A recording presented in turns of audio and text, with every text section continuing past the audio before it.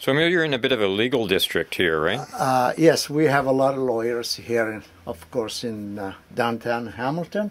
And uh, also, I sell court attire. There is one here, for instance. Uh, of course, everything had to be black. This is to the gown. Okay. It's pretty And detailed. If you notice, there's yeah, it's a lot of fabric in it, you know, and it's heavy too. Sometimes, if you want to feel sorry for the lawyer being in court, it got got to sweat with all this gown, and then this is called waistcoat.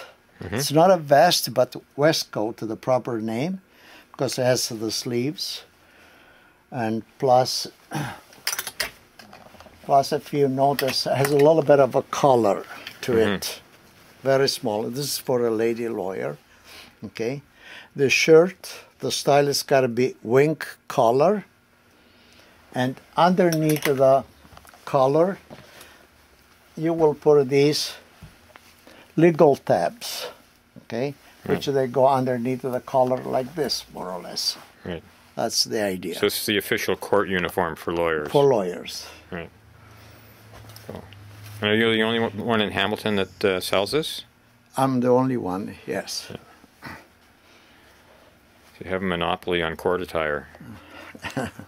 If you can say so, yes.